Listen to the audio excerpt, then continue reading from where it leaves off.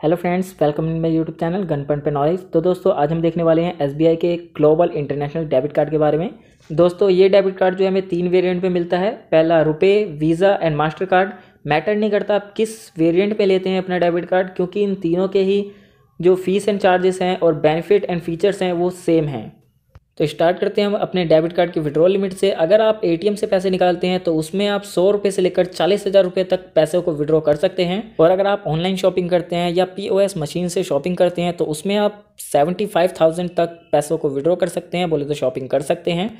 और अगर आप यूपीआई का यूज़ करते हैं तो आप एक लाख रुपए तक ट्रांसफ़र कर सकते हैं एक दिन में, चाहे वो पर्सन टू पर्सन हो या पर्सन टू मर्चेंट हो।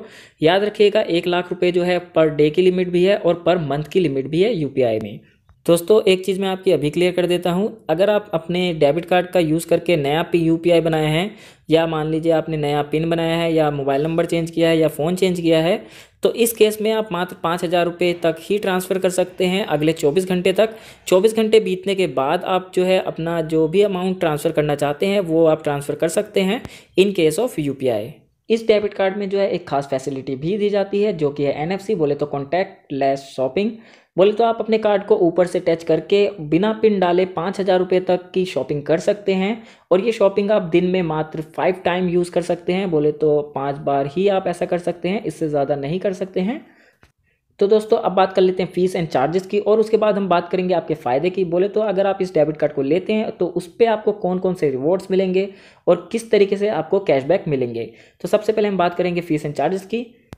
तो सबसे पहले आ जाता है आपका इशू चार्ज बोले तो जब आपको डेबिट कार्ड दिया जाता है बैंक की तरफ़ से, तब इशू करते समय कितने चार्जेस लगते हैं?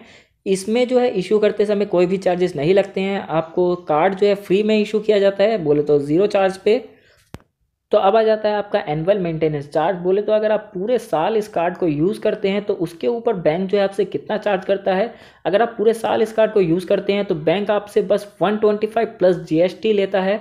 बोले तो आपसे वन फोर्टी सेवन रुपीज़ ही इस डेबिट कार्ड के चार्ज लगते हैं एनुअल मेंटेनेंस चार्ज ओके तो तीसरा आ जाता है आपका डेबिट कार्ड रिप्लेसमेंट चार्ज तो गलती से अगर आप अपने कार्ड को जला देते हैं, तोड़ देते हैं, खो देते हैं या किसी कुत्ते को खिला देते हैं तो उस केस में आपको जो है नया डेबिट कार्ड लेने के लिए थ्री हंड्रेड प्लस जीएसटी पे करना पड़ेगा।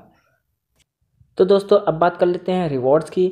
जो एसबीआई के पुराने कस्टमर हैं, उनको तो पता होगा बट जो एसबीआई के नए कस्टमर हैं, उनको नहीं पता होगा कि अगर आप अपने डेबिट कार्ड का यूज़ करके स्पेंड करते हैं, बोले तो खर्चा करते हैं तो उसके ऊपर आपको कुछ रिवॉर्ड्स पॉइंट मिलते हैं, जिसका यूज़ करके आप मोबाइल रिचार्ज कर सकते हैं शॉपिंग कर सकते हैं, या डिश टी रिचार्ज कर सकते हैं, बोले तो आप एज अ मनी की तरह उसको यूज़ कर सकते हैं।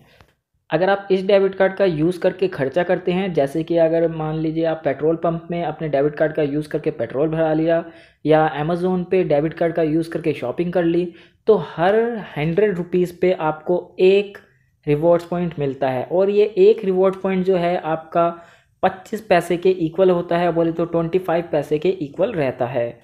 अगर इस डेबिट कार्ड को लेने के एक महीने के अंदर अंदर आप तीन ट्रांजेक्शन कर लेते हैं डेबिट कार्ड से तो आपको टू हंड्रेड रिवॉर्ड्स पॉइंट जो है मिल जाएँगे। और अगर आप अपने डेबिट कार्ड का अपने बर्थडे वाले दिन यूज़ करते हैं, बोले तो आपके जन्मदिन वाले दिन, तब उस टाइम पे आपको जो भी स्पेंड करेंगे, उसके ऊपर डबल आपको रिवॉर्ड्स पॉइंट मिलेंगे। जैसे कि अगर आपने अपने बर्थडे वाले दिन सौ रुपये का खर्चा किया तो उसके ऊपर आपको दो रिवॉर्ड्स पॉइंट मिलेंगे। और अगर नॉर्मल डेज़ में देखा जाए तो अगर आप सौ रुपये का खर्चा करते हैं तो उसके ऊपर एक ही रिवॉर्ड पॉइंट मिलेगा। अगर आप अपने डेबिट कार्ड का यूज़ करते हैं, तभी आपको रिवॉर्ड्स पॉइंट मिलेंगे। अगर आप अपने डेबिट कार्ड का यूज़ नहीं करते हैं, बोले तो अगर आप यूपीआई करते हैं तो यूपीआई के ऊपर कोई भी रिवॉर्ड्स पॉइंट नहीं दिया जाता है एसबीआई की तरफ़ से। तो इस बात का आपको ध्यान रखना है कि अगर आपको रिवॉर्ड पॉइंट चाहिए तो आपको अपने डेबिट कार्ड का यूज़ करना होगा। तो दोस्तों, अगर आपको वीडियो अच्छी लगी तो लाइक एंड सब्सक्राइब करें। एंड मिलते हैं अपनी नेक्स्ट वीडियो में। तब तक के लिए थैंक यू फॉर वॉचिंग